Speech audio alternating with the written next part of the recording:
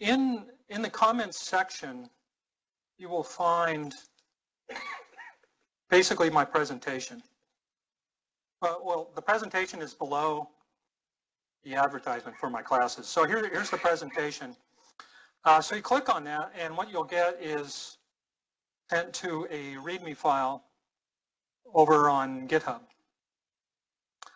So the way README files typically work on GitHub is they, they're sort of, the way I like to write them is I like to focus them at kind of a DevOps sort of a personality, someone who's doing a combination of development and operations. So um, hopefully we have some people who are kind of like that tonight.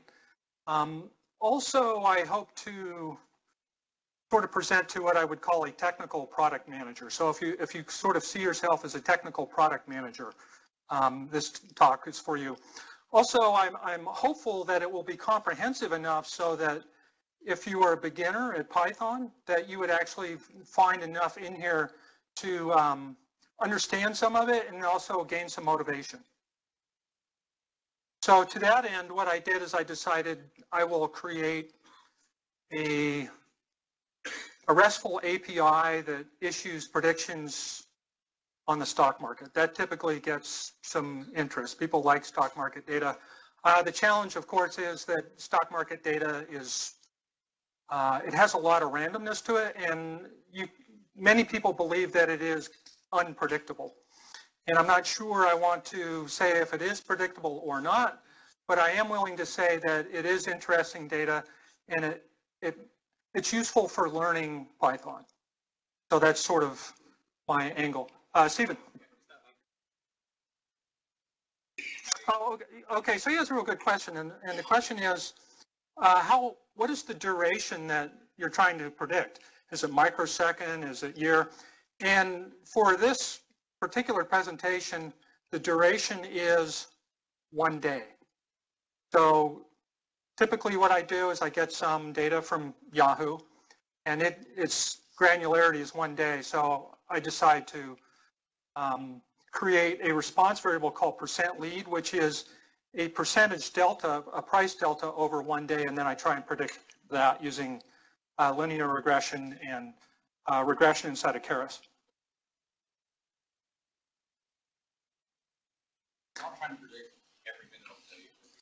No, no. Um, essentially what I'm using is a, a, time series that has two fundamental things in the time series. The first fundamental thing is, is a is a day, is a is a date. Okay, so um, I don't get below the date. Okay. Yes, and and the second part of the time series is the closing price. Yeah. So we're only dealing with closing prices. So what that means is when, when I get the data from Yahoo, I ignore open, high, and low and adjusted close, and also I ignore the volume. So to get started, if you if you want to sort of follow in my footsteps, uh, what I do is I give you the sales pitch that you should be using Ubuntu 16, not because it's you know better than Apple or it's it's better than Windows. It's just so that you can follow in my footsteps. It's it's what I use to develop this, and everything should go smoothly for you if you can also get Ubuntu 16 running in your training environment. So in order to help you with that is I, I created this link here. It's a, it's a VirtualBox um, image, or sometimes they call it appliance. So let's click on that and see what it looks like. So when you go to Google, it shows this, and then, if you click download, it says, well, this thing is two, it's 10 gig and we, we, are, we are not scanning it for viruses. So um, uh, I don't think it has any viruses in it. I certainly didn't put any in there. So the, the idea behind this is that um, you would download this to your laptop uh, and also hopefully your laptop would have VirtualBox running and then you would see it in your file browser and you would click on it and you would get introduced to what's called an import dialog, and you would import this, and then uh, in maybe 10 minutes or so, you would have a training environment, which is very similar to the training environment, which I'll show you tonight. Okay, when when you uh, when you do that, you'll see a login screen for an account named Ann. And the password is A. Okay, so let's imagine that I did that. Um, this is what we would see. Oh, let me simulate this. So I'll go here. And we got a the black screen of death. Oh, that's better.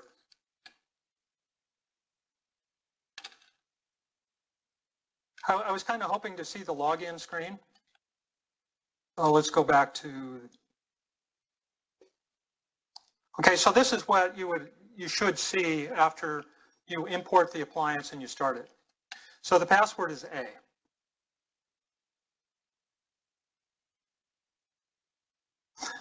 Uh, once in there, um, this looks kind of strange because I'm, I'm running VirtualBox inside of Linux. So what you see are um, two launchers on the left-hand side. So if you're on a Mac, maybe it would be on the bottom. So it looks a little strange running Linux inside of Linux.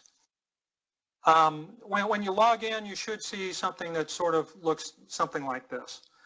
So what I want you to do is click on Firefox and then bring up this meetup or the GitHub README. Okay, so we'll let's uh, demonstrate that. So I click on Firefox and it turns out it's already loaded. Um, where it is is it's on GitHub and um, it's my name, Dan Bikle, and then the name of the repo is ticker API 20. Let's say you couldn't find that. But what you would do is you go to Meetup and you type in, uh, you first find it, so I type in Bay Piggies Meetup. And here it is. Here we are.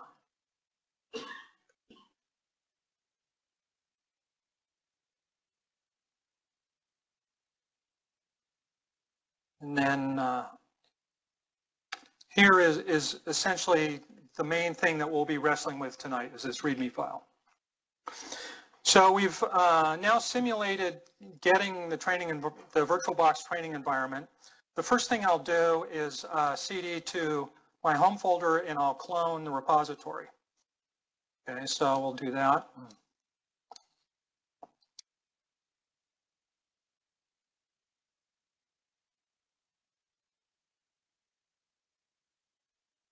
Uh, by the way, the, this might look a little strange to you. I'm running a shell inside of Emacs. Has anyone ever done that?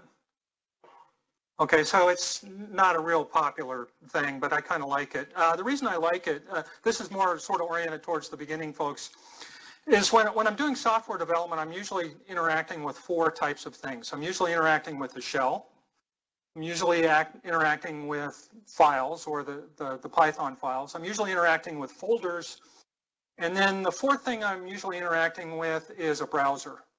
Okay, three out of those four things I can get to very, very easily inside of Emacs. And we're now looking at one of those things, which is the shell. It, uh, somehow it just kind of seems to fit my personality well. It seems to work better than uh, when I watch other people working on their laptops when they bring up maybe 25 terminal windows and then they kind of forget you know, what, where their stuff was, okay? The nice thing about Emacs is it's got this nice finder mechanism in it that allows me to find, you know, any of my 20 shells that I might be working on over the past two weeks. Okay, so here I have a shell called shell. Um, what I'll do is I'll cd to, well, according to, to the README, what I need to do is do a git clone. Okay, so I could do this. It'll fail because I've already done it. So let's see what happens if, if you try and run it twice. It'll say, oh, it's already there. Okay, so CD, ticker.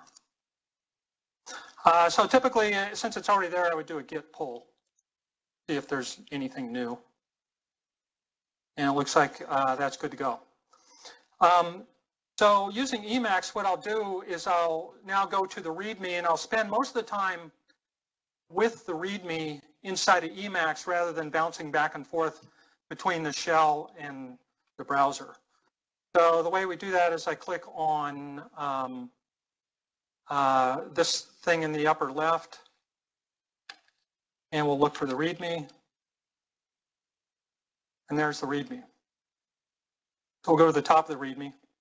And it looks a little different than what we had in the browser because the browser renders it. This is a, a syntax called Markdown. So I'm not very good at Markdown, so you can see my Markdown is kind of simple. So let's start the first demo.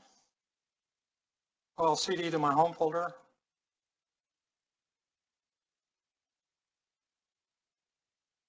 Okay, CD.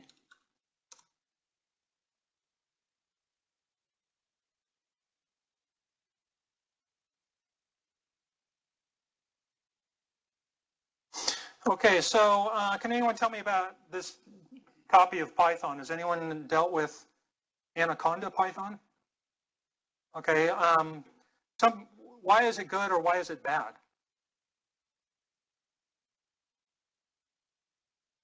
Batteries included scientific packaging. Yeah. Yeah, so I happen to like it. Um,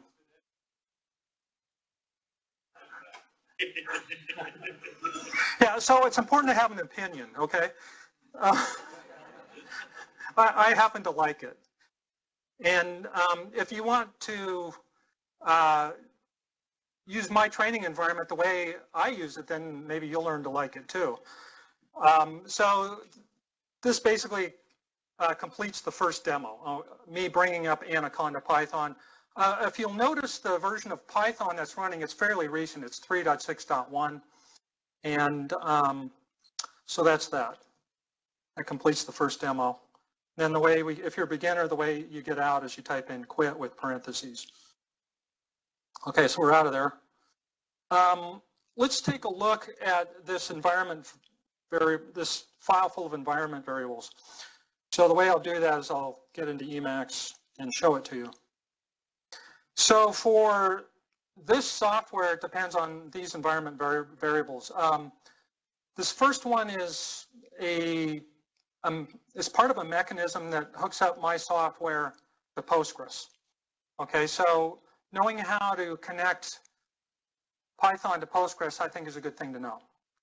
And um, the main reason I, I, use it in this particular application is uh, building a machine learning model can be expensive, especially a Keras model. So what I like to do is once I, I'd like I like to capture that work, and there's two ways to capture that work. One is uh, when I when I get predictions from it, I can put those predictions in the database and save them and serve them later.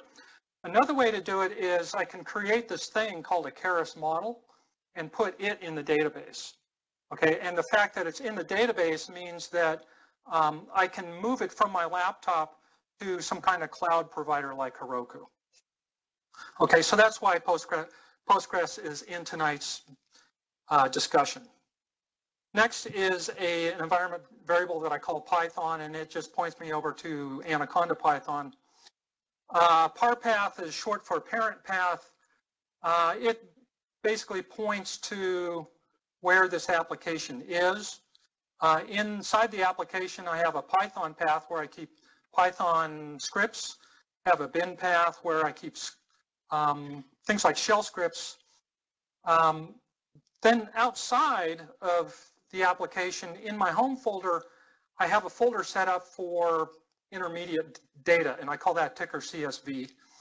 Uh, and inside of there, I have three folders. One is called div for dividends. Uh, another one is history for price history of each stock ticker that I'll be downloading. And then the third one is split, which is um, uh, a history of split dates for stock tickers. Stephen, did you have a question?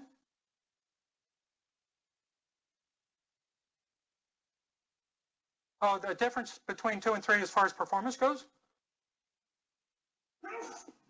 I don't know. Um, I always just, I when I see two and then I say three, I figure, okay, two is old, three is new. I should probably, if I'm if I'm if I'm doing um, like training, I I don't even want to look at two because I don't have some legacy thing, yeah.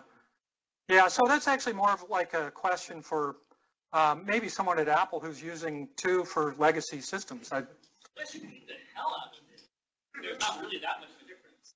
I mean, if you're beating the living hell out of it, then you might care. But for most things, you're not going to notice it. yeah, so I personally like three. Uh, just it's newer. Well, if you use seven the right way, it's like three. Yeah. Um, okay, so next I set this environment variable called Flask debug. The idea behind this is when I bring up a Flask server and I'm doing uh, development, I might change some file that's being used by the server. And if this environment variable is set, then the server will restart itself, and that's very convenient. Uh, next is a, an environment variable called port, and that's used by Flask. So if Flask sees this environment variable, it'll start listening on this port when it comes up. Uh, this environment variable Keras backend is used by Keras to point either at TensorFlow or another technology called Theano. And uh, so this one's pointed to TensorFlow. Not to say that it's better or worse than Theano. And then, uh, well, we've all seen Path. Okay, so that's what that file does. Um, on to the next demo.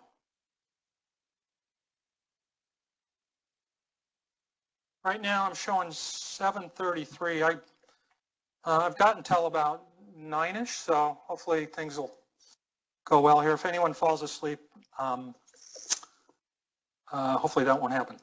Next, what I want to do is uh, demonstrate a shell command called conda. So let's see it, and then we'll talk about it.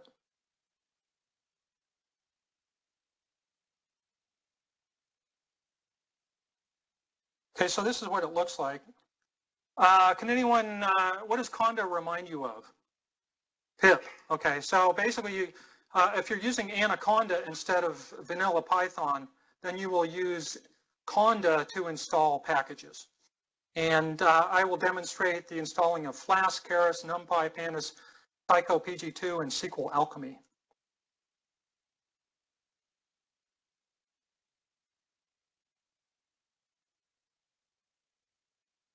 Okay, so uh, apparently it was already installed.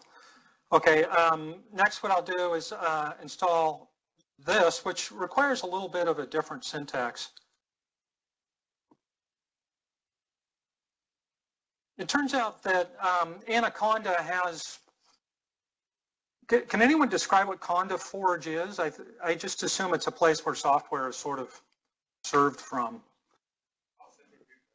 Yeah, it's a separate repo. Um, so I guess you have a similar thing in, in the Linux world, like if you're dealing with CentOS, you've kind of got the, the CentOS stuff, and then you've got this other place called EPEL, where they've got other uh, Linux packages. So I think that's kind of what's going on here, similar. So uh, this should basically behave the same. Obviously, when I first tried this, I tried to do a plain conda install flask RESTful and it didn't work. So then uh, I went to Stack Overflow and it said that it's inside a Conda Forge. Okay, so we've just finished uh, the second demo. So far things uh, seem to be going pretty well. Internet's working, the laptop's working. Uh, what you can do is you can list what's in your Conda repository. That's what you'd call it. I,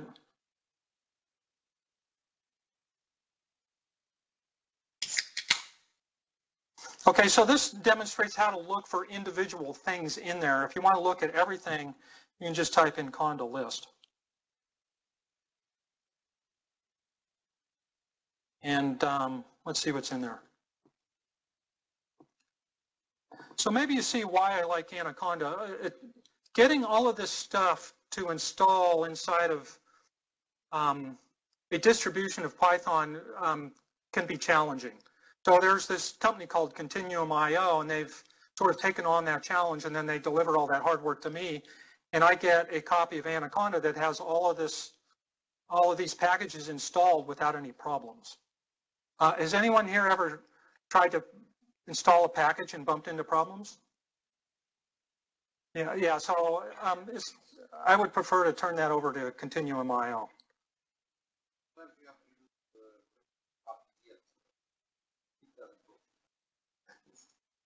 Yeah, so sometimes uh, these different things here, like here's one called um, entry points. Okay, so it's possible that entry points might depend on some Linux library. And if that's the case, then I would need to use apt-get if I'm on Ubuntu to go and get the appropriate stuff. And the way I deal with that is sort of a caveman approach. What I do is I, um, I apt-get install a lot of things. And I'm not sure that um, that's appropriate for production environments, but it's pretty nice for training environments because if it breaks, I just start over. Okay, so that finished, I guess that was the third demo. Let's uh, go on to the next one. So that was a demonstration of Conda. Now let's uh, demonstrate the installation of Postgres. Does anyone here use Postgres at work? Okay, so um, one thing I like about Ubuntu is it is really easy to install Postgres. Uh, if you have a Mac or if you're on CentOS or uh, some of these other platforms, Postgres, I won't say it's hard, it's just sometimes it, it's not nearly as easy as this. So uh, typically the way this works is you, you type in this shell command to uh, go and get some Postgres stuff. Okay, so I already ran it uh, earlier today, and so it went very quickly. Next, what I need to do is I need to uh, get connected to uh, the database, and that's two command lines. First, I switch user to Postgres.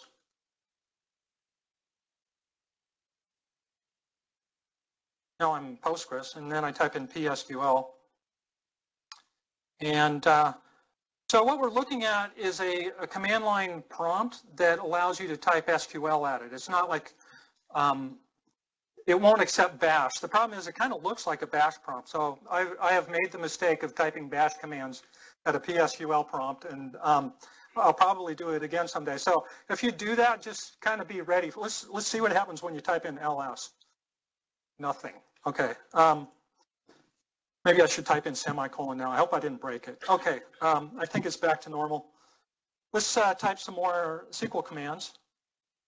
What I want to do is I want to create uh, two types of things inside of Postgres. I want to create um, a thing called a database, and then I want to create um, a user that uh, can connect to the database. But the Postgres people don't call it user anymore, they call it role. Okay, so I'm we'll call it, we'll use their terminology. Um, my first job out of college, I went to work for, for Oracle. And when, when you, does anyone here work with Oracle software? Uh, maybe two people, okay. So um, in Oracle, the, the word database sort of implies this big, giant, heavy thing that requires an afternoon to install. In, in Postgres, it's a much more lightweight kind of a thing. It's just sort of like a, a container of tables. That's one way to look at it. Okay, so uh, let's go ahead and um, create a database. Yes?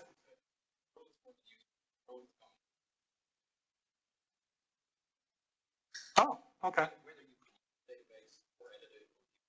Mm -hmm. Okay. Okay. Um, so so a role is different than a user and a role is a more encompassing thing. That's a superset, okay.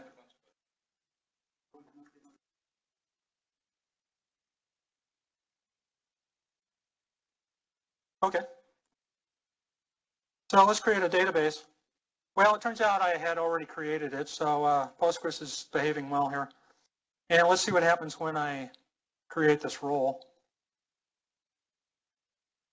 Let's, uh, before I create the role, let's look at this, the syntax. So basically, the way this works is this role will get super user privileges, and then its password will be ticker API, which is the same name as the role, and it's also the same name as the database. So it's pretty easy to remember all three of those things because they have the same token. Okay, well, it turns out that also exists. So uh, that's not so bad. I'll type in uh, class Q to get out of Postgres. Now, it turns out I'm still in the Postgres Linux account. I need to get out of that. So I want to go back to the AN account, so I type in exit. And now I'm out of there, and that finishes that demo. Uh, now what I want to do is, is talk about sort of three of the main topics of tonight, which is SQL Alchemy, Keras, and Flask RESTful. Um, let's start with SQL Alchemy. I, uh, I wrote a, a, script. We can we can run the script and then we'll kind of take a look at it and, and um, think a little bit about the, the syntax.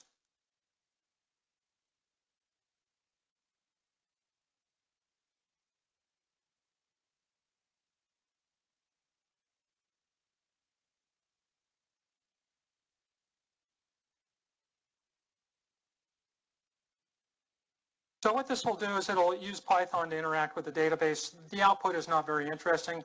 Let's, let's look at the script itself. So it's called demo SQL. And it is right here.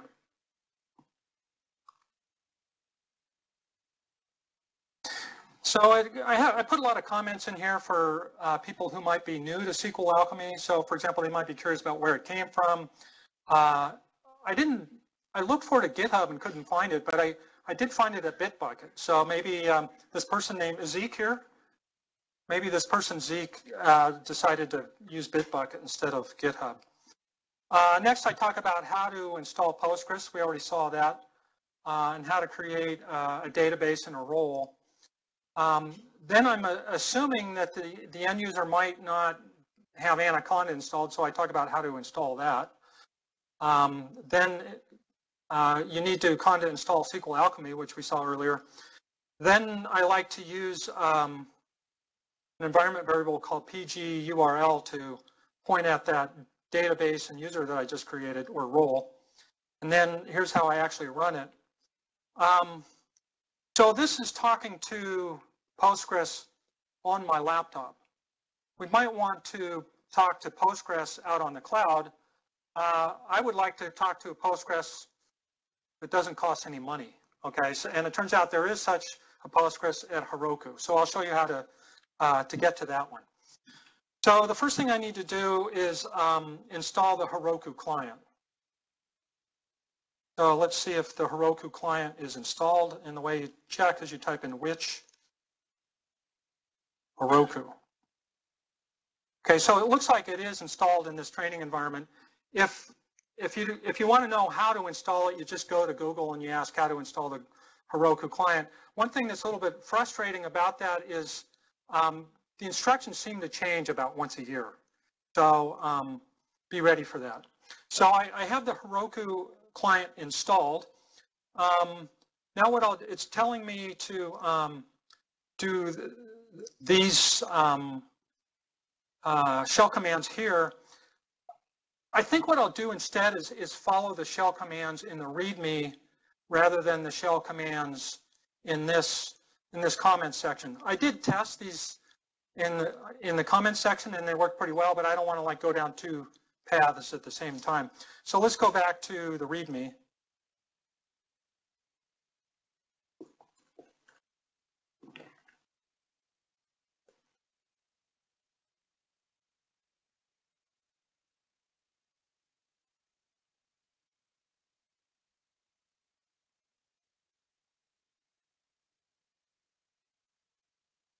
Okay, has anyone here worked with Heroku technology?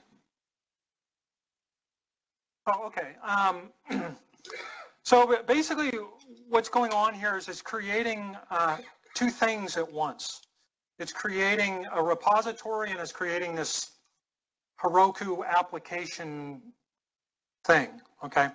Now, it, turns out that uh, if you notice, I tried to create it and it says, oh, it's already been created. Okay, so uh, let's figure out, figure out how to destroy it. And the way you do that is you uh, do Heroku apps destroy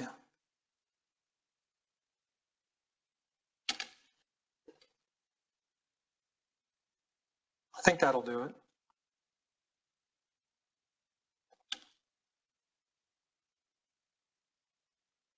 Okay, so it's done. Now I can create it because I just destroyed it. Okay, so uh, we're making good progress here. I've created that thing. Now what I want to do is I want to tell Heroku that I want to use the, uh, the free Postgres. So that is a number of steps, and here's the first one. Okay, so it gives me some information, but it looks like it worked. And then I need to get the top secret mm, token thing. The way you do that is with this. So th this, try not to memorize this URL because it's top secret. Um, so what I do is I use it to um, connect my Python software, which is running on my laptop, to the Postgres database over in, it's probably in San Francisco. Okay, so the first thing I'll do is I'll grab some syntax like this.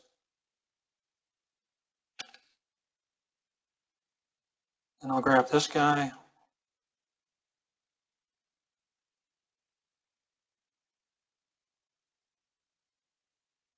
Okay, so now um,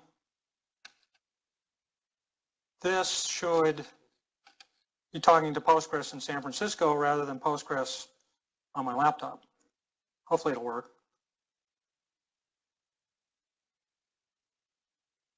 Okay, it seemed to work. Um, how, let's let's connect to Postgres using uh, the Postgres command line interface. And the way you do that is you type in uh, Heroku uh, PG PSQL, I think. Ooh, okay, um, so far so good. And um,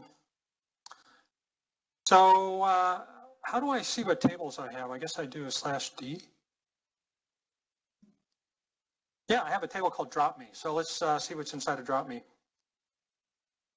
Select. Okay, so here's your, your SQL education. There is your first SQL statement for today, or, or for some of you.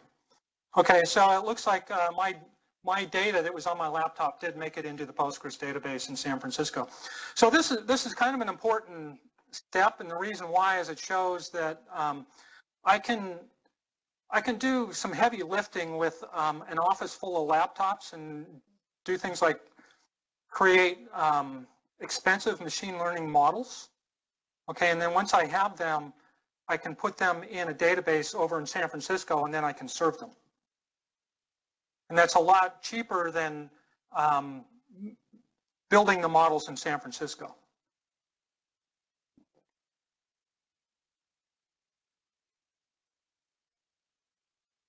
Okay, so that finishes that demo. Um, one thing I wanted to do is, is take a look at demo SQL.py a little bit more using the debugger. So let's try that.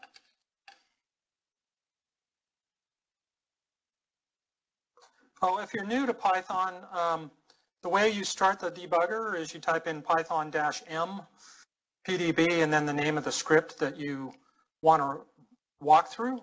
And uh, you'll get a, a, PDB prompt like what we see here. And it's basically, now I can walk through it line by line by line. So when I'm in class, I, I usually ask the students, well, what should I type in first? And the answer is help. Okay, so let's type in help. So these are all of the debugger. Are people here familiar with the debugger or is this new? Okay, so we've got one person who knows the debugger. It has a friend called RPDB. Oh, RT, R, oh. You, you put set trace in your code. Yes. When it hits, it opens the port and you tell Oh, cool. Okay. Um, I, I got to learn that. Um, right now, I'm still kind of dealing with, you know, um, caveman PDB. And um, so here are my favorite commands. I like L for list. That, that kind of tells me, if you notice on the left-hand side near the bottom, there's a red arrow. Okay, that's telling me where I am right now. Uh, my next favorite command aside from list and help is next, but I don't have to type in next, I can just type in n. So let's just keep typing in n. And uh, what it will do is it'll step through the code. So we can see uh, here I'm, I'm uh, creating a string called db underscore s from that PG URL, which we were using to connect to San Francisco.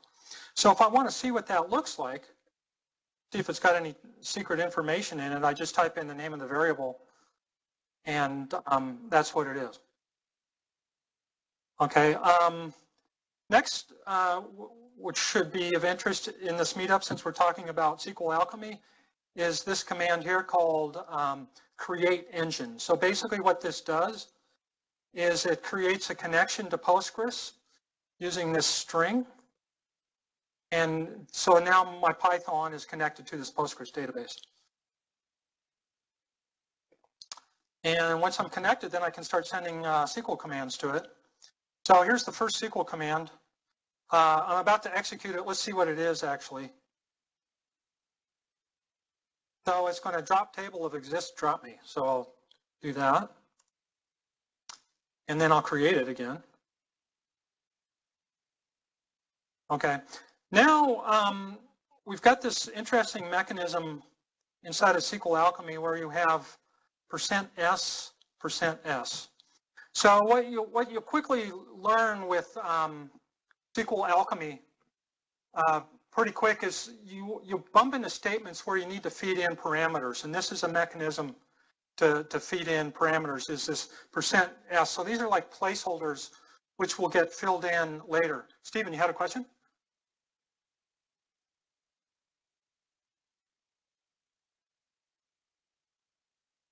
Um, oh, the, the, mm -hmm.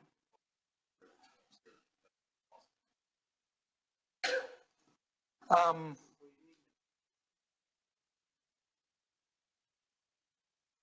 yeah. Okay.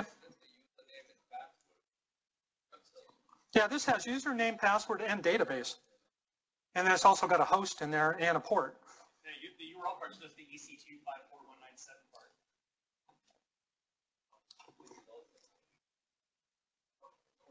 Yeah, so if anyone can remember this, I mean, you could connect to it too using your your iPhone. If you know if you've got SQL Alchemy on your iPhone. Okay, so the intent here is I've got a couple of tokens that I want to, or parameters that I want to feed into this insert statement. And basically I'm going to insert in a name and a rank. Okay, so a name will be a string and rank will be an integer. Okay, so let's see how that's done. Uh, so basically notice that I have a list here, a Python list that's got a string and an integer, and it needs to match up with uh, these percent s's here. So I notice I have two percent s's, and, and then I have two tokens inside this list. And um, so this is the proper way to do it. You'll see some code later tonight where I show you the wrong way to do it, where basically what I do is I, I concatenate together this giant SQL string and then just feed it. Uh, that's way bad because it opens you up to a, a security problem called SQL injection. Has anyone ever issued SQL injection against the website? No, no, okay, we're not getting any uh, confessors here. Okay. so um, I'll just keep trucking along here. And so um, what this does is SQL S does not change. What does change is, is the statement. So, so I can keep issuing these statements to insert rows.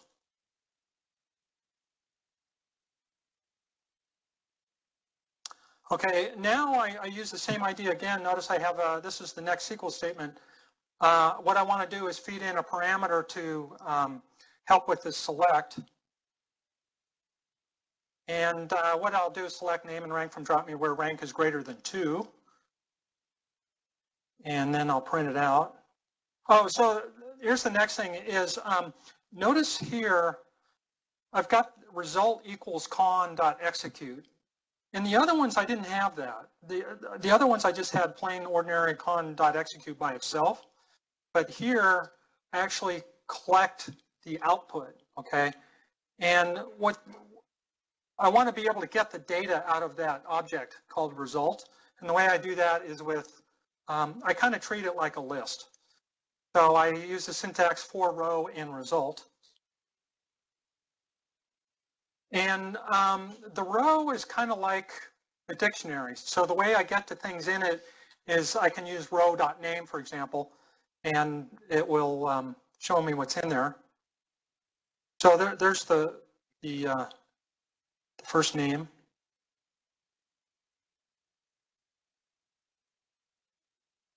Okay, so that demonstrates that. Um, next, what we want to do is uh, I'll show you. How, so we've demonstrated how to do an insert and a select, and we've also demonstrated this idea of parameters in the SQL statement with the percent %s and the list in the execute. Now what I want to do is demonstrate update. Well, update is similar. Uh, we've got percent %s's in here. So there's going to be an execute with a corresponding list later. So what this should do is it should update drop me and set rank equal to um, rank plus one, where rank is greater than two. Okay, and then we'll check our work.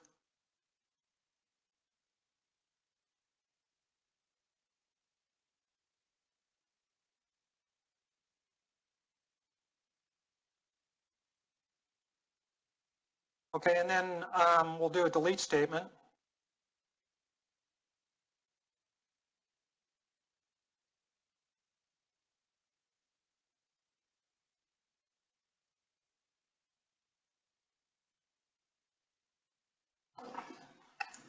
And now what I'll do, so um,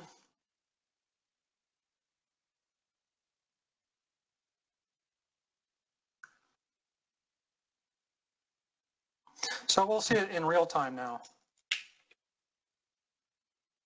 Hopefully I'm still connected to my database in San Francisco. So this is kind of what it looks like.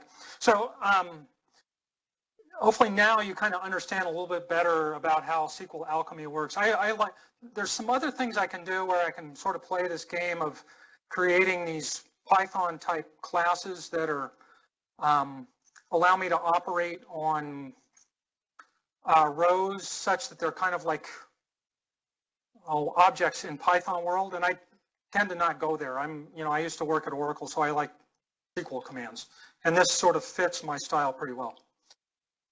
Okay, um, moving along. That was um, the SQL Alchemy demo.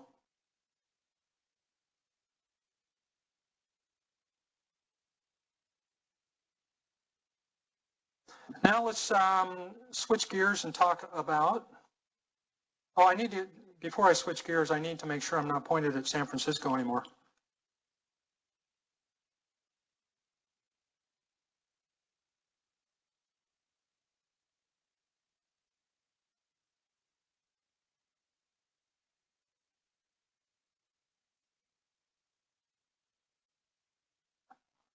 Okay, so now I want to demonstrate um, Keras.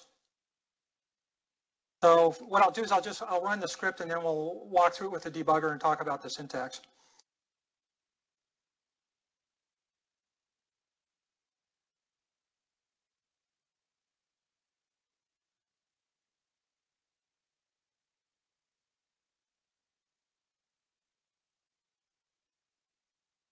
So right off the bat, it tells me that it's using TensorFlow. And I, I, like, while we're waiting for this, I'll tell you why I like Keras. I, I first started uh, with TensorFlow by going through the TensorFlow tutorials. And um, they weren't that hard, but once I bumped into Keras, it just seemed much, much sweeter. It's sort of like um, my experience when I first bumped into Vagrant. I, um, has anyone here worked with Vagrant? Yeah, basically Vagrant is sort of like this sweet layer on top of VirtualBox.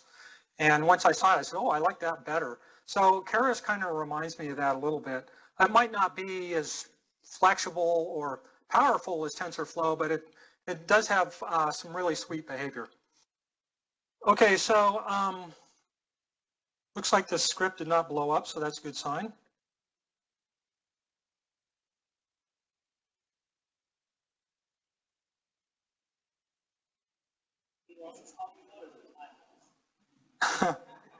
Okay, so let's talk about loss.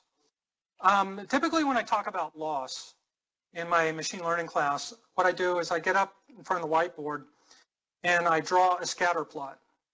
Okay, and then I ask the students, what should I do with the scatter plot? And someone says, you should fit a line. I say, okay, so I, I draw a line below the scatter plot where it doesn't go any through any dots at all. And I say, is that a good fit? And they, and they say, no, it's not. It doesn't fit the line at all and then I bring in the concept of what is loss. And I say that um, if the line fit, then the loss of information that it has would be minimum. On the other hand, this, this line that I drew underneath the scatter plot that doesn't touch any dots, it loses a lot of information. Its loss is high. So that's how I describe what loss is. Is, is um, it's, it's, it's a concept which basically means loss of information. And if the line fits, that means it's, it's the loss of information is a minimum. If the line doesn't fit, then loss is high. So then I take that concept and I say, okay, after you understand fitting a line through a scatter plot, then uh, you can sort of generalize that concept and say that uh, a model is kind of like a line and it can have loss too. It can either have, uh, it can either lose a lot of information or it can not lose a lot of information. And if it, uh, if it loses a lot of information about the thing that it's trying to, to model, then the loss is high. And that's what, so when you see this word loss here on the screen, that's, you should think about that, what I just described when you look at the word loss. We're not losing money. Stephen. Oh, yeah, we're going to take a look at the code. Um, so let's take a look at the code that uh, ran this thing.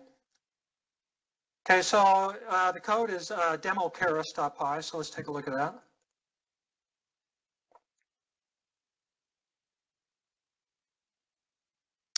So this is what it looks like. I start off with some comments saying you should set your environment. Um, I need to import Keras and um, some other things. Then what I do is I create some X variables that are about as simple as I could think of. Okay, so essentially what I've got is um, a, a two-dimensional matrix where um, uh, the first row everything goes up and the second row everything goes up. And what I want to do is match it to a, I kind of visualize it as a Y row vector that is very much correlated with these. So um, if you look at this with your human brain, you could see that uh, when X goes up, Y tends to go up. They're correlated. So the, the Keras model that, that I build should see the same thing. Okay, so um, I have these this training data, this five rows of training data, and the first thing I do is, um, uh, you know, I go to Google and I say, well, how do I create a Keras model? And what it does is it shows me, basically it sends me here. Okay. Uh, so here's the first line of Keras syntax for tonight is Keras models.sequential. So if you, if you read the Keras documentation, they talk about kind of like two different ways to build these models. One way is you can kind of start with this and then issue a series of add commands. And so you'll see that I have some add commands down below. Or what you can do is you can kind of create it all in one API call. Um, I prefer the add commands because um, if something breaks while I'm adding, I kind of I kind of know. On the other hand, if I'm trying to create a model like all in one giant super long API call, uh, if there's a problem in there, it, it might be harder to find. Okay, so th that's why I do it this way. Um, so the first thing I need to do is, is figure out um, what, how to create what's called an input layer. Okay, well, looking at the data, we can see that um, basically what will be coming in are two inputs. Okay, so the inputs correspond to the columns in this in this X data. So I'm going to have two inputs. And uh, so that'll go into the input layer, and then the input layer will also have outputs. Okay, and this syntax sort of sets all of that up. Uh, now what I do is I go to the next layer, and the way I do that is I is I call this function called add, and uh, typically what I add next is activation. Okay, um, it turns out you have some, some choices for activations. Um, I chose linear because it seemed like the simplest for this meetup. Uh, one that seems real popular is called ReLU. Uh, you can read up on that. And then there's um, there's some other ones. I just picked linear. Um, maybe if you go to like a real machine learning class, he'll talk about like, you know, what are good activations to use uh, after the input layer. Okay, so we've got the input layer done, okay? now we're going to go to the next layer. And uh, basically what I need to do is say how many neurons are in it. And I do that with this API call. And this will only have one uh, neuron coming out, or one neuron with, which has a linear activation. Okay, uh, so this is a simple two-layer neural network. So you used dense twice. You called it previously and you passed in the length of the number of things you had. So why is that previous time a larger number this time? Um, each, it's my understanding that, that uh, essentially what dense does is it specifies how many neurons are in each, are in each layer. Is that a, correct assumption? Okay. Well, how many layers do I have? Two. How many calls to dense do I have? Two. So I think that's how, um, does that answer the question, do you think? Last one has to be one closest to the output. The output will be a single. So, oh, it, it's, so just by practice, the last layer is your output layer. Yeah, okay. The question is why is dense is one? The dense. Why is it? Why is it hard? Oh, because I'm doing, uh, basically I'm doing regression. So if, if you're creating a model that's going to classify, say, three flowers, then I would have three outputs. And typically what you would do is each output would be corresponded to some kind of probability that it's flower number one, two, or three. On the other hand, if you're doing regression where I just want one number that's coming out, then I only need, I only want one neuron on the last layer. And um, then what I chose to do with this one neuron is have it output a, a linear activation. Okay?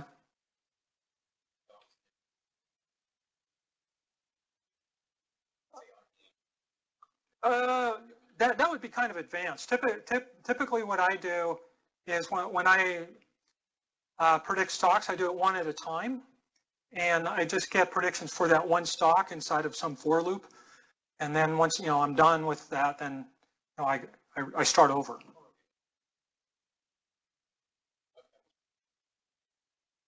No, I, I, but I don't know. Maybe um, I don't understand. Sounds like it might be a cool idea.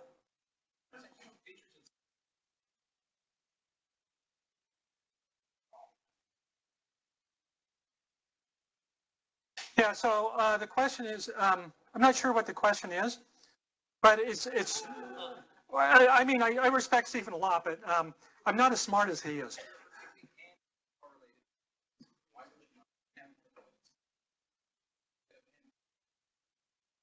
Oh, okay. Yeah, so he's saying, okay, you've, you've got n things that you want to predict. Why not have n outputs on in one network? If I, yeah. yeah. And to me, that sounds like it'd be a good idea. The way I did it is instead of having n outputs, uh, basically I had n networks. And he's asking you why. And the answer is um, seemed obvious to me. I mean, um, yeah.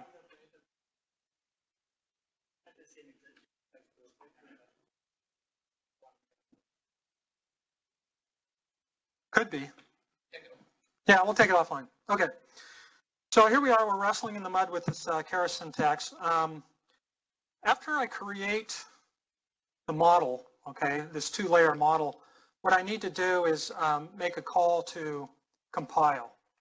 And essentially what I do is I, I, talk about, I need to tell it what kind of loss function I'm using, okay? Um, now you can go to machine learning class and they'll, they'll teach you what a loss function is, or you can just kind of take the caveman approach and that is that there are different ones and different ones are appropriate for what you're trying to do. What I'm trying to do is very similar to linear regression. Okay, so if you go to machine learning class and learn about linear regression, what you learn is that the, the loss function that you want to use is called mean squared error. Okay, so when I saw that in the API documentation, I said, I want that one because I'm, what I'm doing is very similar to linear regression. Um, oh yeah, um, it, okay. Yeah, you know, he's got a good point. Um, mean squared error might go a little faster since you're not doing the square root, but um, he says it's the same thing. Okay. Uh, next, what I want to do is uh, pick an optimizer. Okay, so uh, basically the way you answer this is you go to Google and you type in what is the best optimizer in Silicon Valley today, okay? And, and they'll tell you, oh, it's not stochastic gradient descent, it's this thing called Adam, okay? And then you'll go to Andrej Karpathy's webpage and he'll have like this nice visualization of the Adam optimizer that just like goes to the minimum in about half of a second. Meanwhile, stochastic gradient descent is like wandering around in Nebraska and then eventually it, gets there, okay? So I said, I want Adam. So that's why I picked Adam. Now that might sound a little cavemanish, but um, that's how I did it. Okay, next, we have to fit, okay? And fit takes two sort of important uh, parameters, batch size and epochs, okay? So epochs usually I set to a power of two, and here I set it to 128. Uh, and then batch size um, corresponds to how many rows in my training set I will sort of batch together when I'm when I'm optimizing. Okay, so I figured four was would be good. I only have five rows. Uh, one interesting thing to try is to try five rows, and it turns out it doesn't work very well, and I haven't figured out why that is. Okay. Uh, how many CPUs do I have? I have an i7, but this is running in VirtualBox, so may, uh, yeah, um, Oh, let's take a look. S1. Looks like I have two. Okay, um, so maybe maybe that's it. I don't know. Uh, eventually what I do is I get a prediction, and the way I collect the predictions is they, they end up in this thing that outputs a NumPy array. Notice though that I need to feed it some test data. And uh, if you look closely at the, at the, the training data, uh, basically you can see it's sort of monotonically increasing along with the Y values. So if I give it um, a test value of say 2.5, 3.5, then um, you know I should get something in between here. Okay, so let's see what I did. So this is what I fed it. And um, what, it, what should come out is about 2.5, just based on the neural network in my head. Um, so that's that. Uh, it seemed to work pretty well. Now what I want to do is sort of wander into what I think is a really, really nice feature of Keras. And that is the ability to um, save a model. So let's see how that's done It's done with this syntax here. So um, the idea here is that I would save this, okay, and then I would somehow get it into my Postgres database, okay, and that database could be in San Francisco, and then what I could do is serve that model out from San Francisco, and I don't need to buy a bunch of or ran a bunch of hardware up there to create my models. What I could do is I could use these old laptops that I have sitting around in my office to create the models and then send them to San Francisco where they're served out. Um, so that's sort of the intent. And this is a step in that direction. So let's see if, in fact, there's a file there. Let's look at it with Emacs.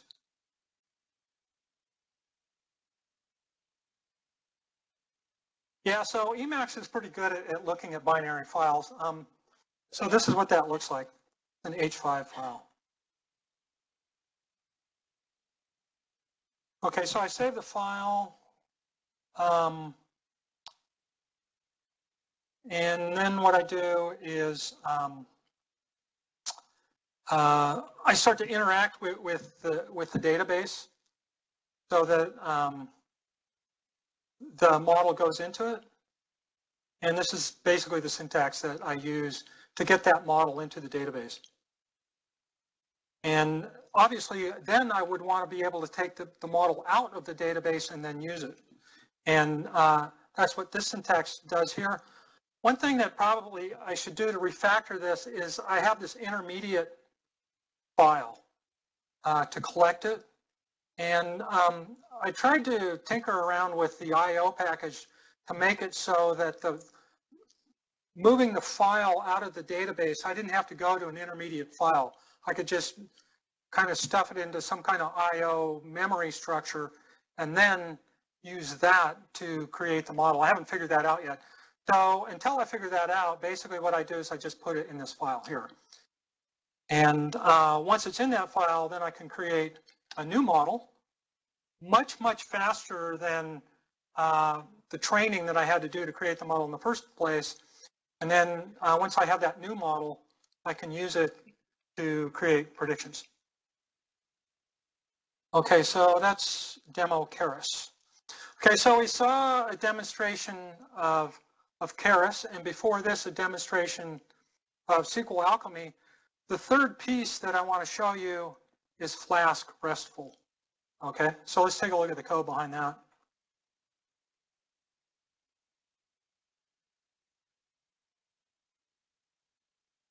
Okay, so um, basically, here's some documentation URLs that you can look at.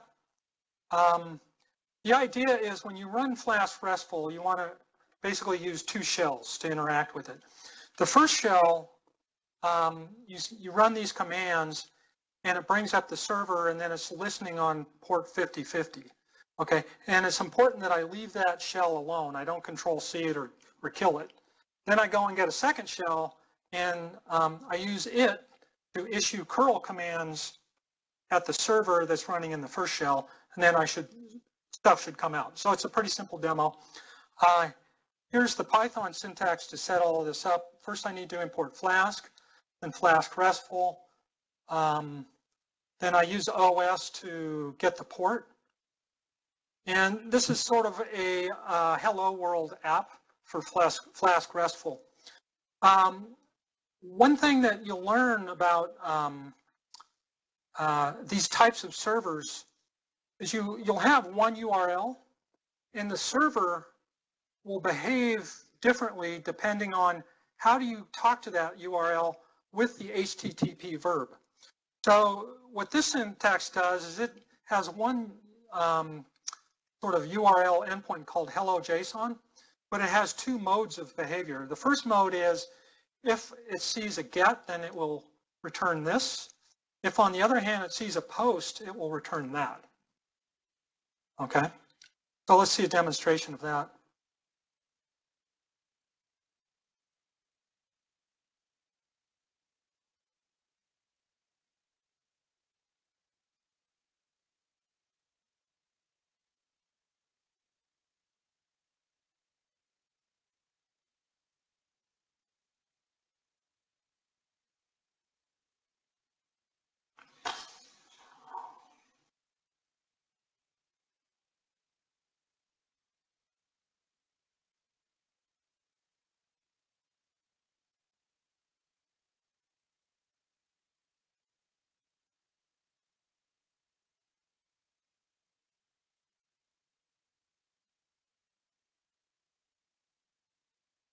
Okay, here's a drum roll.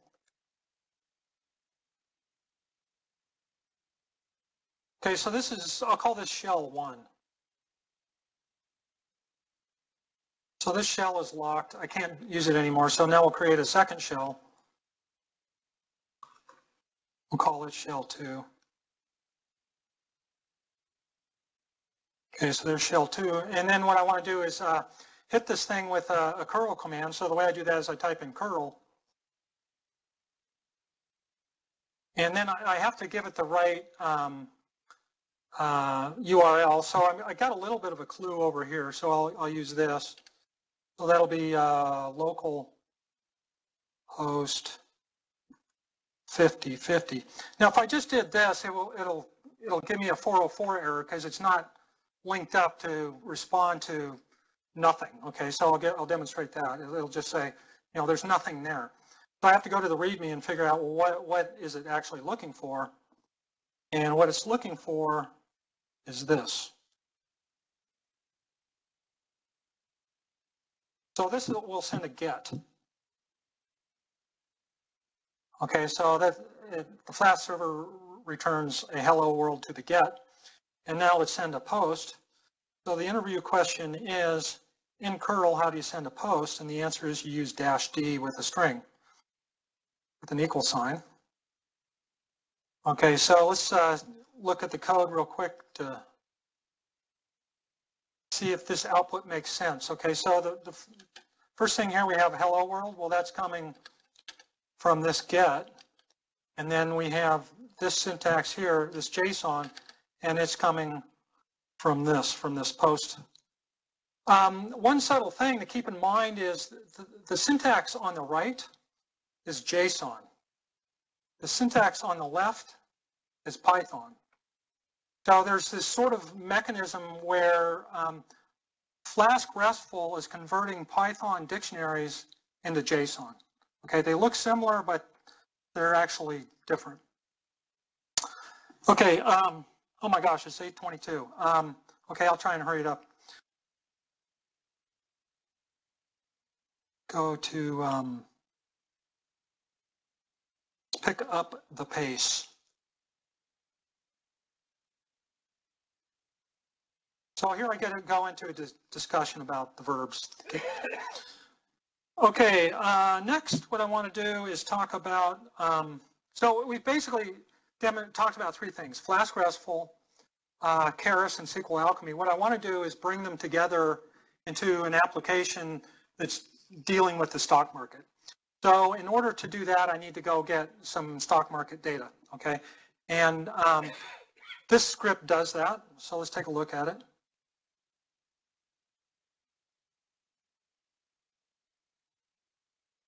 Okay, so this is a shell script. Uh, this is the uh, Python meetup, not the shell script meetup, so we'll kind of gloss over this real quick. And we'll take a look at the Python that's um, sort of at the guts of what's going on here. So um, back in April, you could go to Yahoo and get prices. And they would just, you know, you could fire up a curl command and they would just give you all the prices you could eat. And then something happened in May where they kind of turned that off. And um, a lot of people in, in the internet just were just like, where did it go? So what I had to figure out was, well, are the prices still there? And it turns out, yeah, they're still there. Um, what I need to do is I need to go in through a browser and look at advertising and then click on the right things and then I can get the prices. Um, and I got to thinking, well, maybe maybe Python could read or look at the advertising and and then then I could get the CSV file. Okay, so um, so let's let's take a look at kind of how that works. Um, I'll show you the data that I want to get. So we'll go here. We'll go to the wonderful world of uh, finance. Yahoo.com. Okay, does anyone here have a favorite ticker?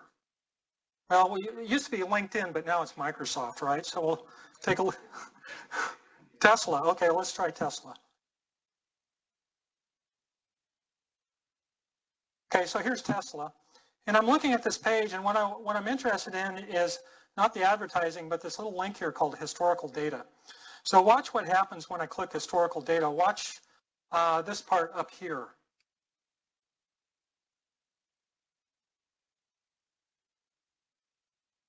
Okay, it changed a little bit. I got a token here called history. Okay, now what I can do is I can actually download stuff by clicking this link here. And if we look at this, let's take a look at this link. I'll copy it. I'll load it into uh, the field. That link is longer than my arm. Um, so what's interesting about this link is it's, okay, we see Tesla is in there. And we've got this parameter called period one. Okay, I look at this, and that looks like some kind of Unix date. And I look at this. That looks, is, can you, is that big enough? You can just barely read it, huh? Okay, that looks like a Unix date. Okay, so far so good. What's interesting is this guy right here, the crumb.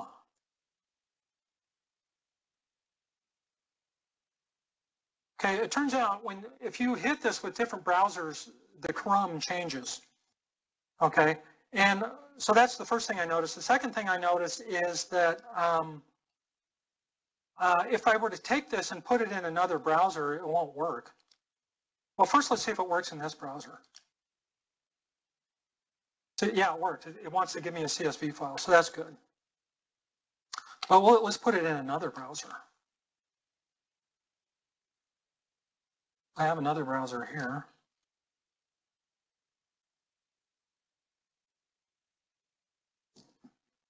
I've only got two CPUs. Okay. Um, and Yahoo will say, talk to the hand. Uh, invalid cookie, unauthorized. Okay. So um, I suspect what's going on here is this is some um, mechanism that's been set up to generate revenue, maybe. I, I don't know. Um, so my goal is to figure out how to uh, get these CSV files. Okay, um, lost my train of thought. I'll get it back. Oh, okay, so anyway, here's the magical Python syntax which does this. First I have to, to wrap this thing in the shell script, which um, is feeding it uh, different tickers on the command line. So let's take a look at the tickers.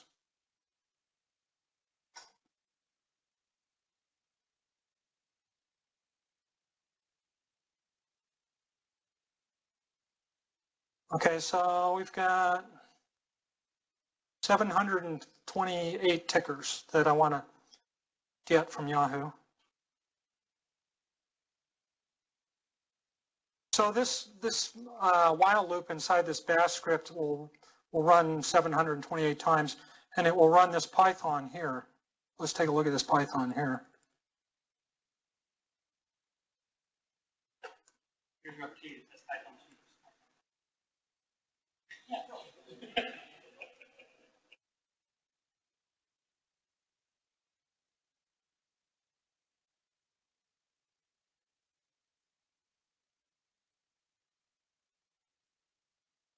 So anyway, I start off with some comments and I say, well, here's how you run this thing if you want to get just one ticker. So let's see if that works.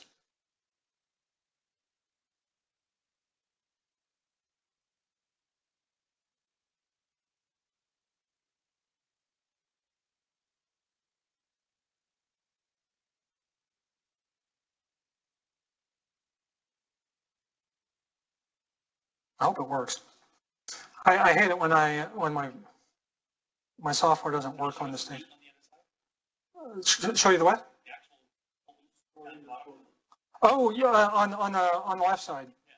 Oh, yeah, sure. Um,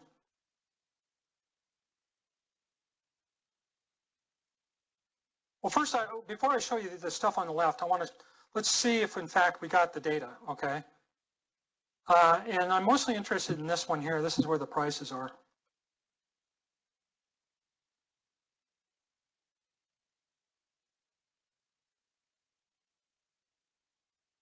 Oh, I see prices. So it worked. Okay, so let's, um, so you saw a demonstration of, of using this to get one ticker, okay? Um, yes, this is IBM. I understand that. You're, you're repeatedly asking it for the entire history of IBM data? Um, yeah, I mean, this is machine learning. I need, I I need as many years as I can get.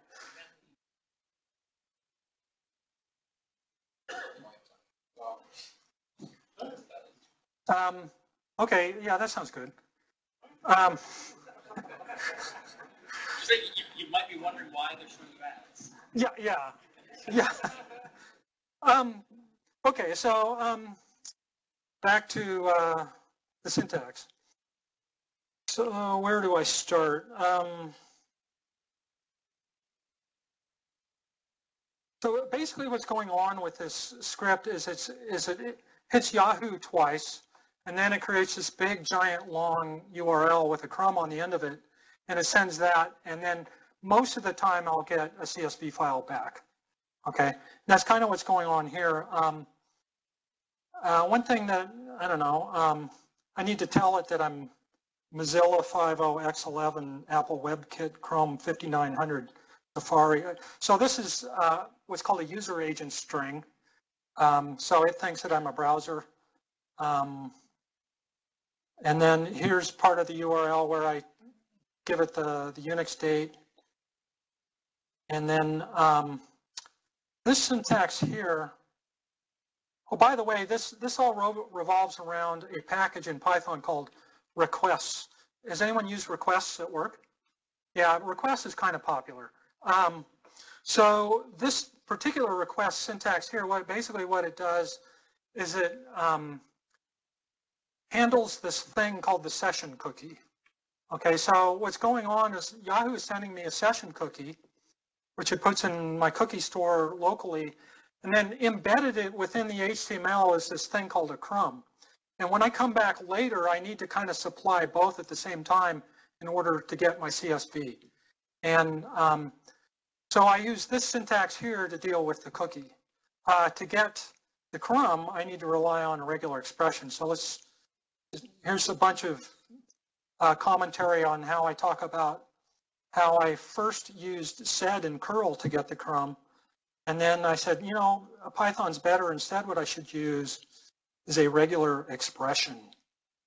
Okay, so basically, um, uh, this is a demonstration of how to use a regular expression to get a crumb out of an HTML page which is larger than this room.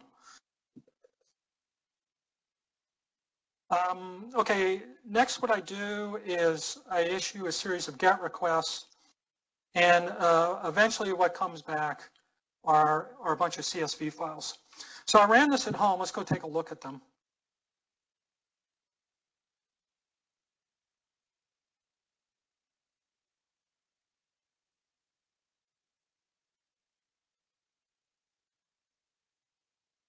So I get three types. I get dividends. Um, right now I'm just using history, but I think dividends and split dates, um, if I'm uh, clever, I might be able to pull those into my machine learning model somehow. There might be some predictive power within the dividends and the split dates.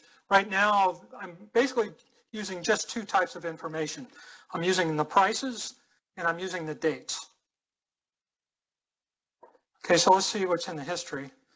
So, um, looks like I might have 700 CSV files here. Uh, let's see if I've got Microsoft. Where's Microsoft?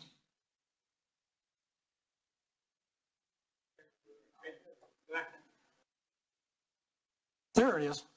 So it's uh, about half a half a meg. So it starts in 1986, and let's see, it's got uh, up to yesterday. Okay. So um, we got data. Let's go back to the README.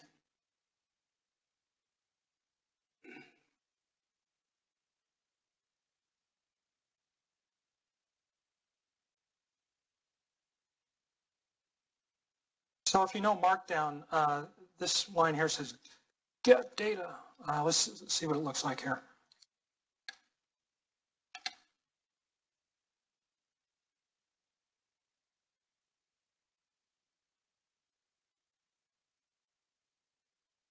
Okay, so we're now at this point here. So we ran the script. We kind of took a look at some of the magical Python syntax. Uh, this is what it looks like when I when I run it on my laptop.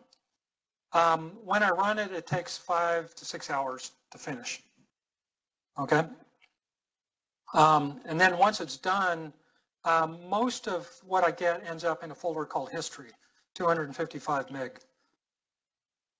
Um, if I want, so that's how I operate this if I want to go and get 728 tickers. I might, however, just want to get like a top 10. So for that, what I could do is I could use this file instead. Okay, so I'll show you how to do that.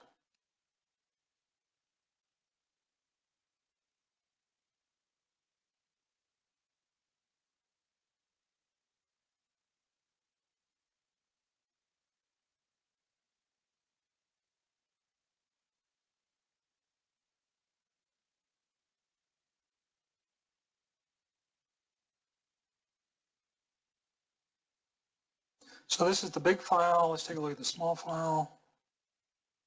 It was uh, ticker list underscore small.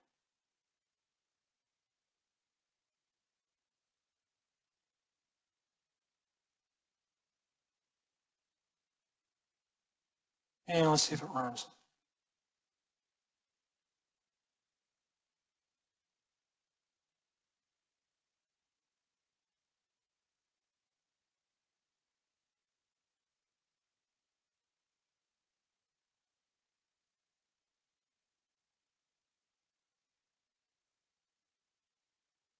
Well, it's not complaining. Okay, so we'll, we'll kind of put that on the back burner, let it run for a while. Let's go back to the README while that's running.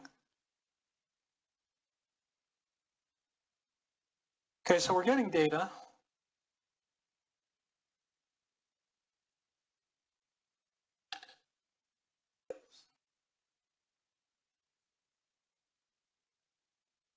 And uh, this is what it looks like when I get it.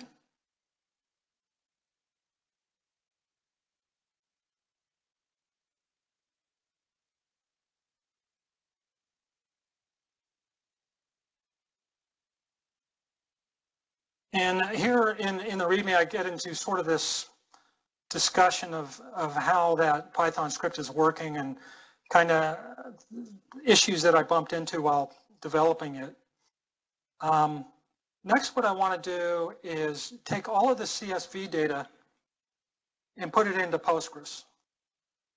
Okay, so um, there's a number of ways I could do this. One way is um, each row inside the CSV could sort of map to a row in a table. That's one way to do it.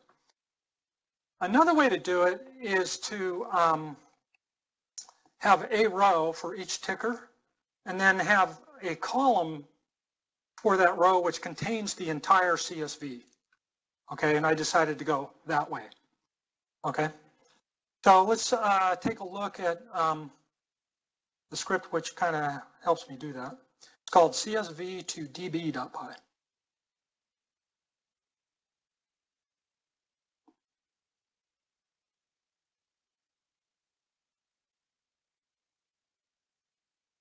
Uh, okay, so the question is why stuff it in a database? Um, this is a really good question, and it's sort of um, one of the key themes about this meetup. That is that um, I have this service that I want to deploy. Okay, and I, um, I want to deploy it on Heroku, for example. I like Heroku because it's free. Um, so one way I could do this is I could take all of this CSV data and put it into a Git repository and then push it to Heroku. Okay, and that, that will work, okay? Uh, Stephen.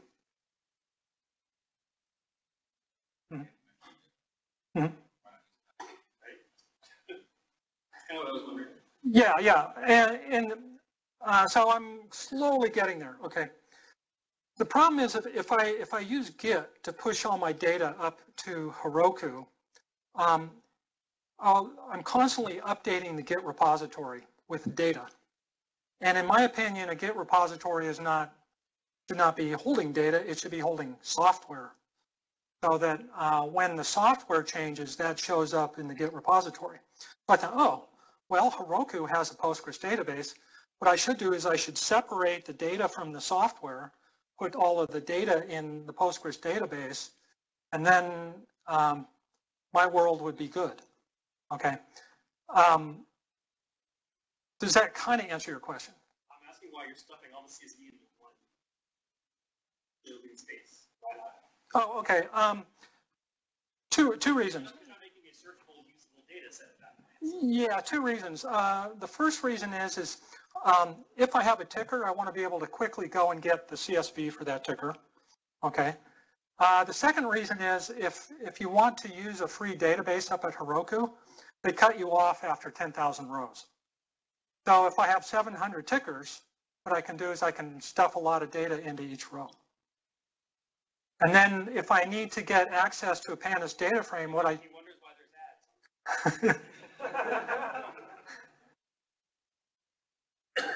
So that's that's sort of um, the long-winded answer.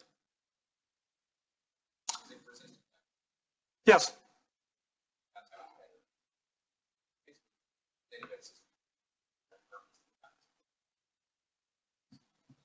Yeah, and if I want to get it into Pandas, typically what I'll do is I'll use SQL Alchemy to go look up a ticker, get the corresponding CSV, load that into a pandas data frame with uh, read CSV, and then I've got pandas. Okay. Um,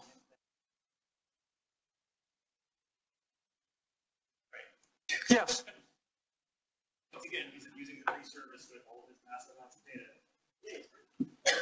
But um, look at the alternative. If, I, if I'm going to have the, the CSV uh, updated with just a little bit and it's going into a Git repository, then what happens is Git starts to balloon.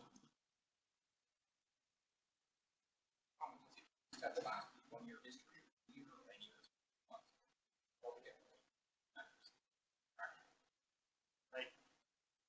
I don't understand your point. You're storing way too much data for the amount of work you're doing. fifty years to predict next week's goals. Uh, that's not true. Um, basically, um, there's a scenario where you might want to say, okay, Dan has this mechanism to predict the stock market.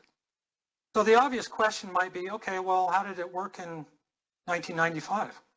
How did it work in 1982? How did it work in 2006?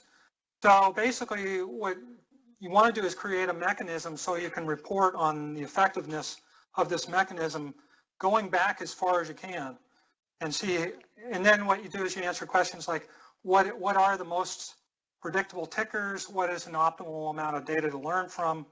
Uh, what are the best features? Okay, so um, what this does is this uh, is an example of how to uh, take the CSV data, loop through it, and put it into a Postgres database. And uh, looks like this finished on, on the left. Um, let's see if how this works. Worked earlier today.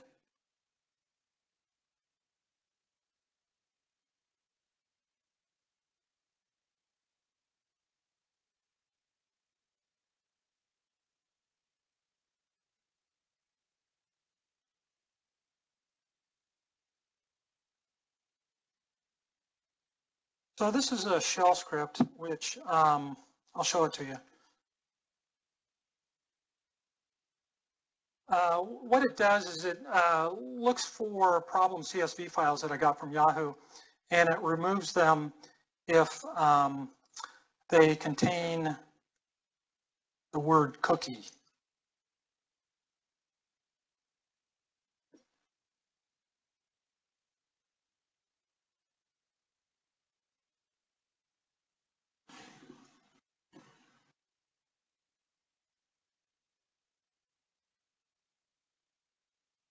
So um, it looks like it found two. It found Apple and uh, JPM.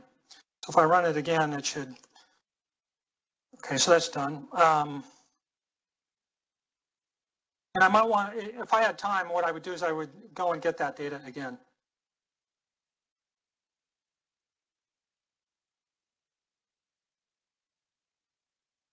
So what this does is this Python script goes and looks inside of each CSV file and attaches it to a ticker, and then takes all of that data and puts it into a, a row in a, in a table. So while that's running, it, that usually takes like a minute. See if we can figure out which table it's going into.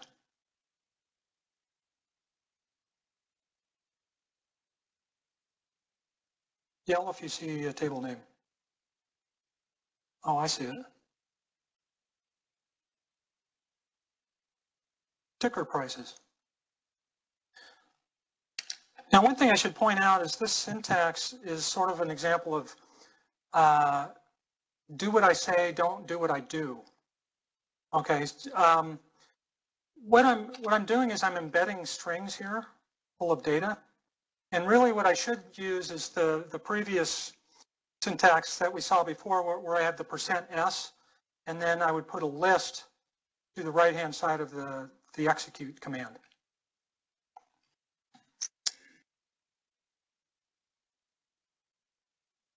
Okay, so that finished. Uh, let's go back to the README.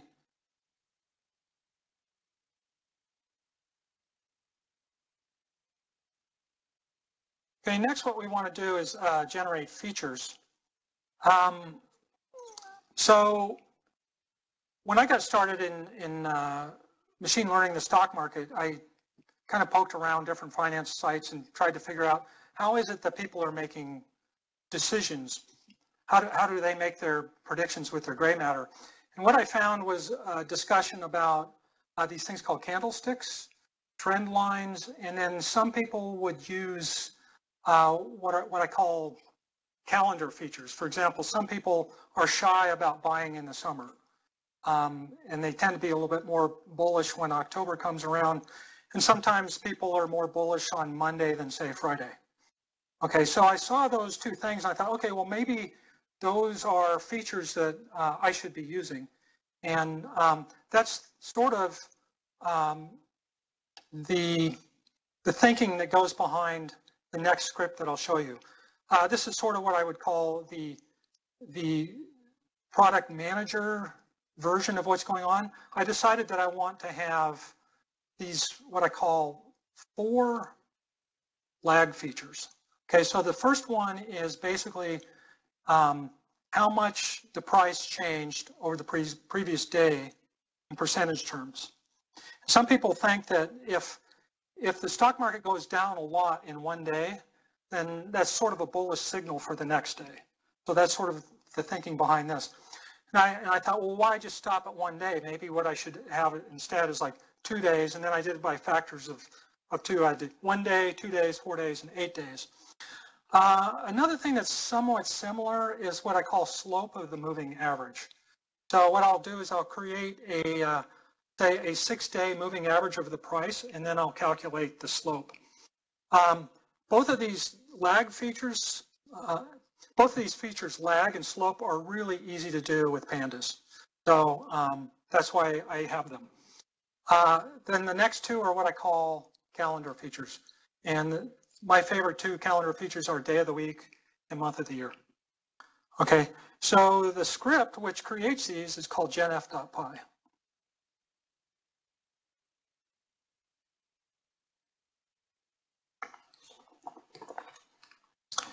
And I'll show you the uh, pandas syntax that I use to create the lags. It kind of looks like this.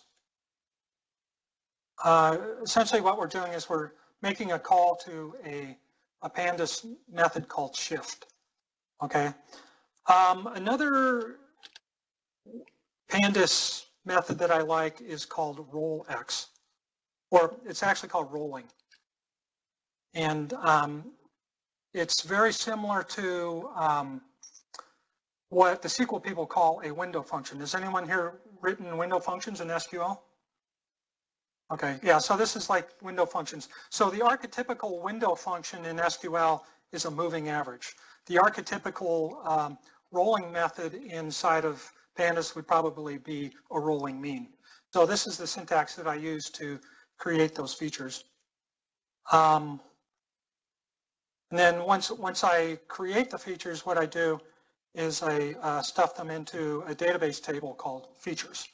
Let's run this and see how it works.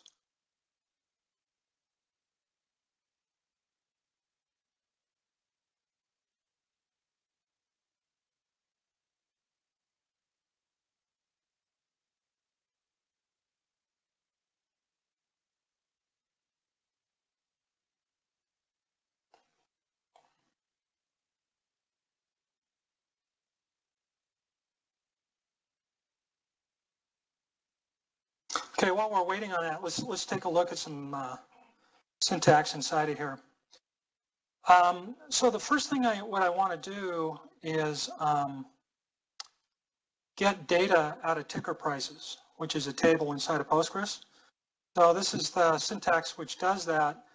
And what I need to do is um, um pull it out into a data frame and this is how basically I copy the, the CSV file out of Postgres into uh, a pandas data frame called feat.df. And then once I have that data inside of feat.df, then I can run these various uh, feature calculations.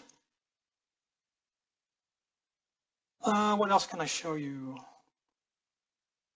Well, once it's all done, once everything is all sort of calculated, then I want to put it back into the database. And um, again, the way I do that is I use this insert statement here. Then if I want to check on it, one thing I can do is this.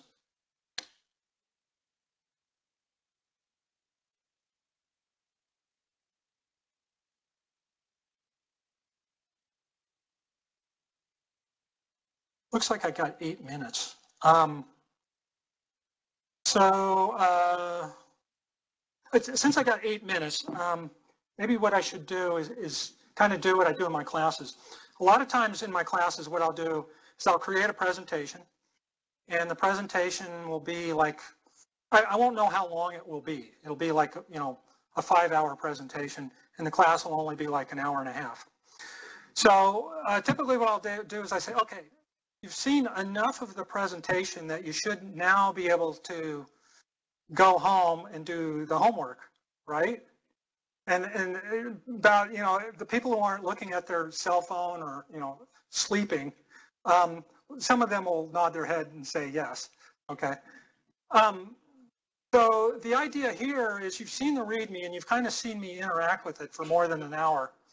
Um, it's my hope that some of you um, who are developers, beginning Python people and DevOps people, and possibly uh, technical product managers could set up this training environment, which basically means you, you down, download the 10 gig virtual box, you log in as Ann, and then you just start uh, walking through the README, and you should be able to get this stuff working. Okay, and what you'll see is um, a Flask RESTful API server, which is um, sending out predictions um, based on Keras. The predictions, the Keras had built models, and the models were were built using data that we got from Yahoo, and um, uh, it it shows the um, predictions using JSON, which is not super pretty, but um, that's what you would expect from a Flask RESTful server. Yes?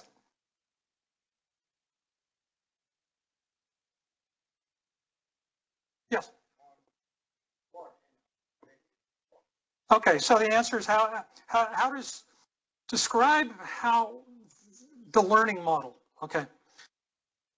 So what I'll do is I'll, I'll start with a simple scenario, and the simple scenario is, um, does anyone remember the 10th of August of this month? I refer to it as uh, Nuclear Thursday. Okay, on Nuclear Thursday this month, um, the stock market went down a lot. Okay, now, so what my model, the way the way my model would see that, it would say, oh, uh, I just saw a percent lag of 1.4%, okay, of down. So typically the way it responds to that is it is it starts issuing bullish predictions. Why? Because it's learned in the past, whenever the stock market goes down 1.4% in the past, typically the next day is up. So it's naturally bullish. Uh, another thing it looks at is day of the week. Um, if you just go and do a simple uh, statistical analysis of days of the week and match those up to percent leads, you'll see that some days are different than others. So that's that goes into the model. Um, and then the next thing is sort of a discussion we started off with, and that is, well, Dan, what, what is your response variable? What is it that you're actually predicting? And what I'm predicting is the percent change over a one-day duration and that shows up in the software as a variable called percent underscore lead.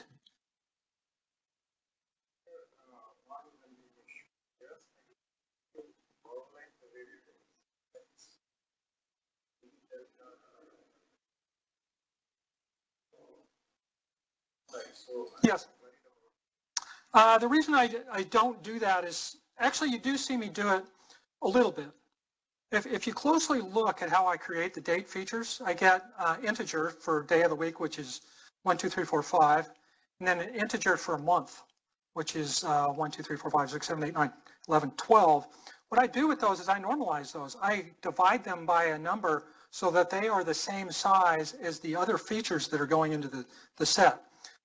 Now, some of the features are pretty similar in size. For example, percent lag 1 and percent lag 2, they're more they're basically the same range, okay?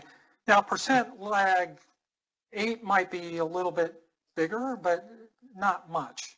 Okay, and the same goes for the slope. So if you look at, at the data in the features CSV, you'll see that most of the, uh, the magnitude of the values is basically the same across all the features. Now, if it weren't the same, then I would need to play this game of of of normalizing them. Um, that is determined by the end user. So for example, when, when I uh, expose the API to an end user, you know, they can pick two years, they can pick 20 years, they can pick 30 years. So let's say like they're trying to predict Facebook and they pick 30 years. Well, we don't have 30 years of Facebook, so you would expect the server to, you know, issue some kind of a message saying that will not work. If, if the end user uh, wants to predict IBM and ask that it learn from 30 years, it'll work because we have IBM data going back to 1962. Yes?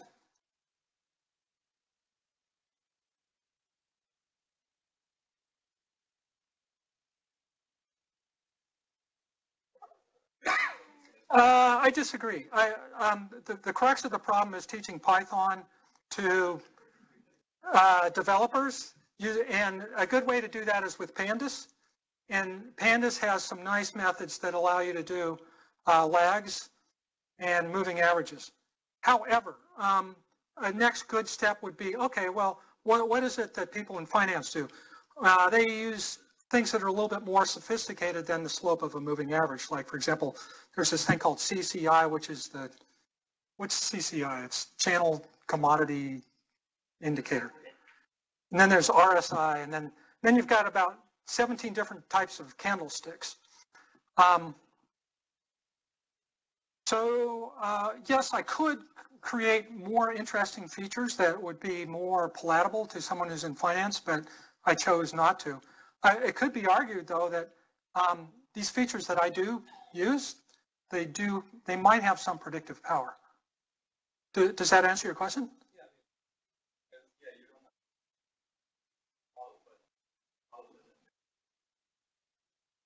Yeah.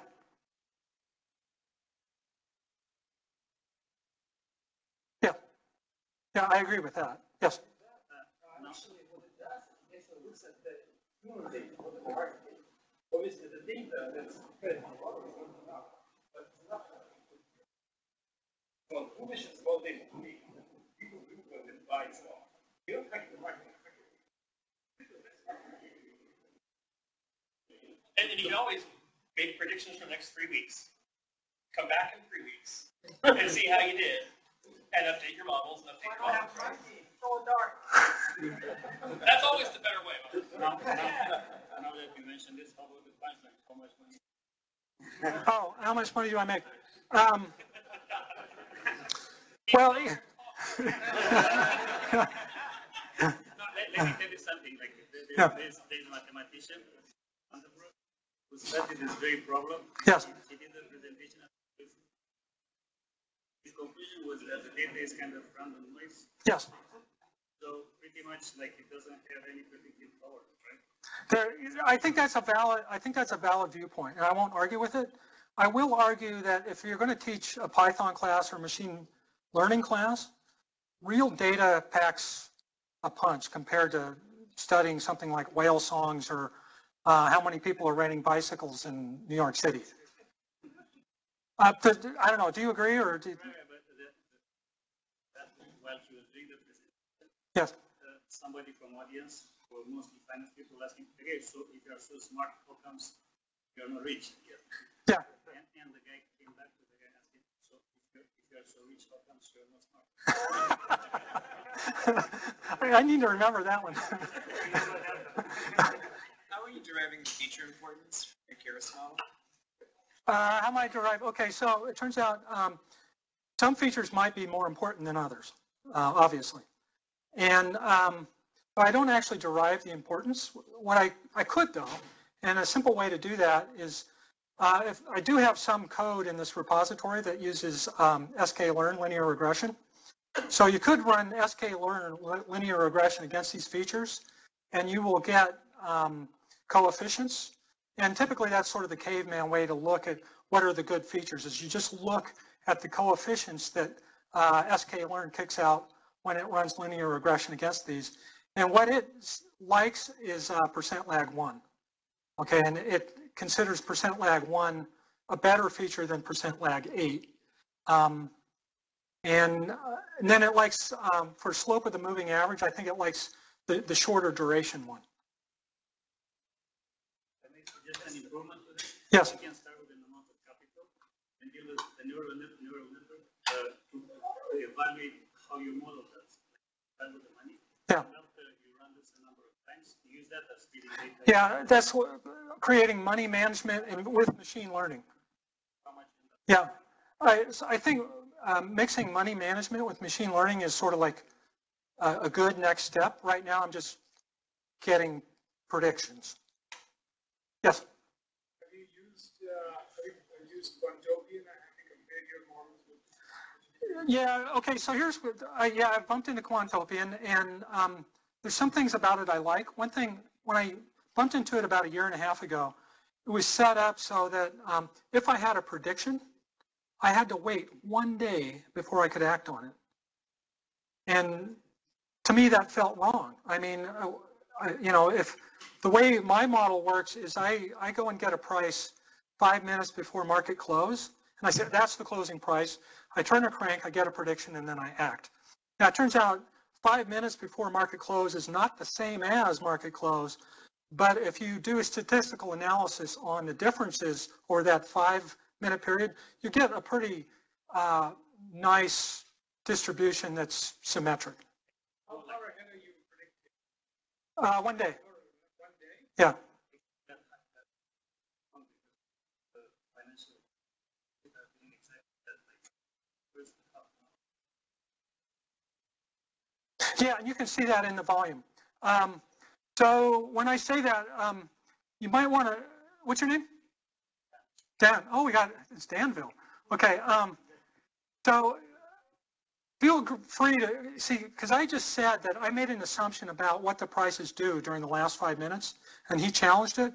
You might want to, an interesting data science experiment would be to study what is the distribution of prices during the last five minutes. My assumption was that it's symmetric. Half of the time it goes up, half the time it goes down. Yeah, so it turns out if, if half the time, if like three quarters of the time it goes up, I smell money. Or three quarters of the time it goes down, I smell money. What might actually happen is what you see over a, a wider duration, like a day, and what you see is uh, a non-symmetric distribution where the negative tail is a little bit longer.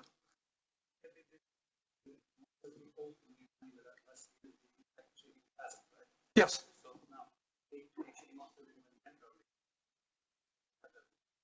Yeah. Oh, yeah, I'm sure they would. I mean, they've got unlimited access to computing power.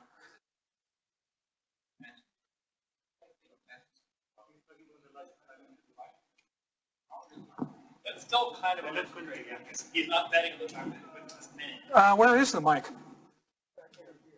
Oh, okay.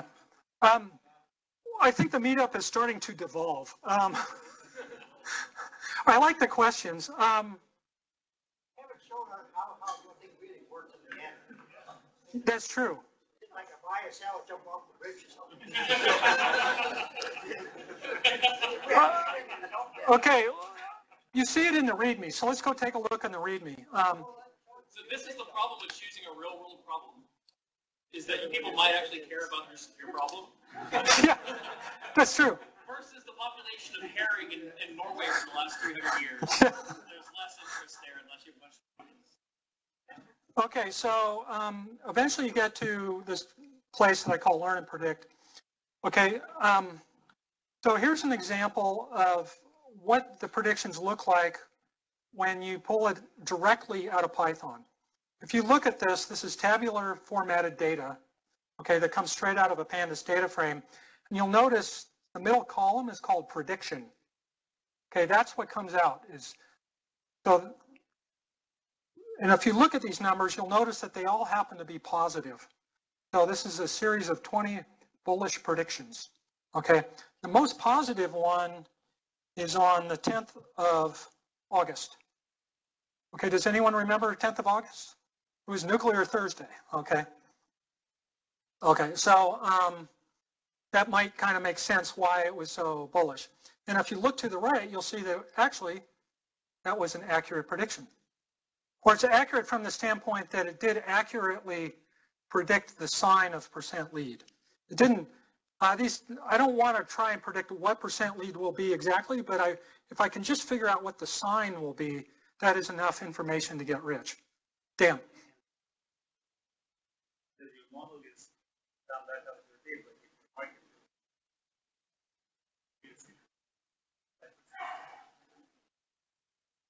Yes, you could. Um, so a, a good test would be to see how well it did in 2008 for like the S&P 500. Yeah. Well, I don't use this model to trade. I do use a model to make trading decisions. And uh, basically my trading style is I might flip from bearish to bullish and back again maybe five or six times a month. So it's not like high frequency trading. Basically, I watch and uh, one thing that almost always happens is if we have something like Nuclear Thursday, I instantly go bullish. And then if it, if it tends to go up a lot, sooner or later I'll catch a bearish signal and then I'll go bearish. And when I go bearish, I go, um, um, I'm a little bit more aggressive. And the reason why is because if I lose an aggressive bearish bet, it- I usually don't lose that much. On the other hand, if I lose an aggressive bullish bet, I can get nailed. But now we're kind of wandering into the world of trading away from machine learning. Yeah. Um, uh, I don't use this model, I use another one, and if, if you want to kind of see how it works, um, I can give you the URL. So Uh, what does that prediction say? Like it says zero point one three one. What is that, what does that one three one represent? That, basically, that's the- the most bullish prediction. So if you look at these as relative numbers and they're, they're positive. Okay? So it's, it's not giving you necessarily a price entry point or any of that other stuff. It's just saying that stock's probably gonna go up. Yes. Okay. Yeah. So it's actually kind of using regression as classification. Um, yes. I just have one comment. I did Sure. The presentation, but you were using the linear activation.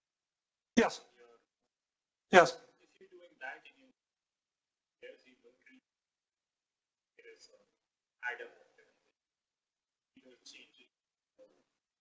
Use the there is a add up activation. The linear activation is just linear regression. That has a closed forms and Yeah. And, and if I have a closed form solution, I should use it, which in case, in this case I do, I have SK sklearn. It's got, yeah. Um, that's a good point. So uh, let's say like I didn't use linear, what, sh- what should I use instead? Like maybe ReLU or, okay, okay. Um, what time do, do we need to evaporate, Jeff? Time to go. Okay, we're out of time. Thank you for Well, coming. Thanks a lot, Dan. Um, That's really yeah. interesting. So how much does the class where you teach us your real model, how much is that class? Anyway, thanks a lot and thanks to LinkedIn for hosting us. Yep, thank you. You got some interesting